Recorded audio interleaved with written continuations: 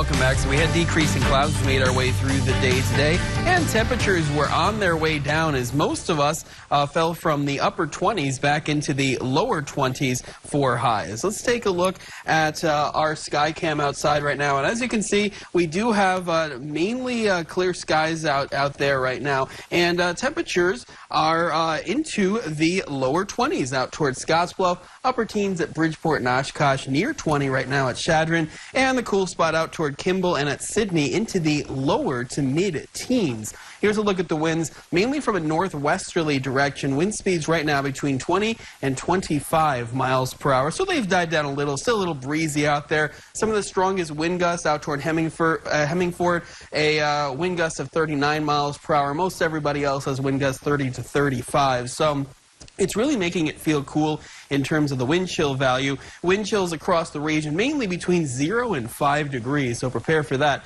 if you're making your way outside. Here's the only weather alert we have. It's still for Sheridan County in a winter weather advisory. Uh, that does go until Saturday at 6 a.m. So everybody else uh, has their, their uh, weather alerts have expired, including all the blizzard warnings from that system that did move through on Tuesday. Here's a look at the satellite loop. So we have uh, partly cloudy to mostly clear skies north of Scottsbluff and mainly clear skies make your way into the southern panhandle, finally starting to dry out across the region.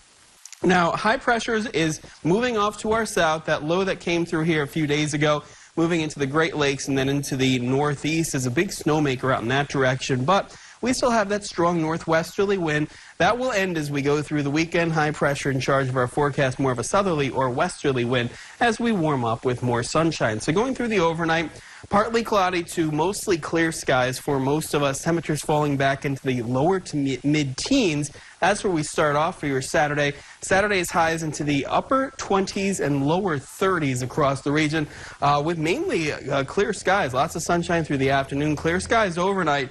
It will be pretty cold out there because of the clear skies and the late winds finally. So we're going to have single digit low temperatures and then back into the mid to upper 20s as we go through the day on Sunday. Some of us actually could be over 30 degrees, still with a good amount of sunshine. So the clouds from that system are exiting, and the strong wind is moving away too. High pressure is going to crest just off to our south. A little bit of a southerly or westerly wind, but lots of sunshine over the weekend. Then colder air works its way in for Monday and Tuesday as uh, a cooler high works in and we will cloud up just a little. So here's a look at the extended forecast. Low to mid 30s for Saturday and Sunday. Lots of sunshine out there, maybe a little breezy for tomorrow.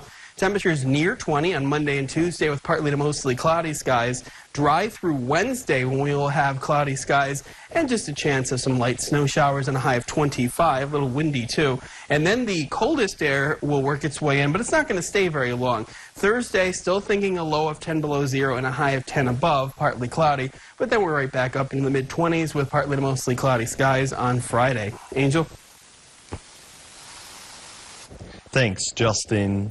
From holiday parties to events, this is a time of the year where we tend to get together. Some look forward to it while others may not.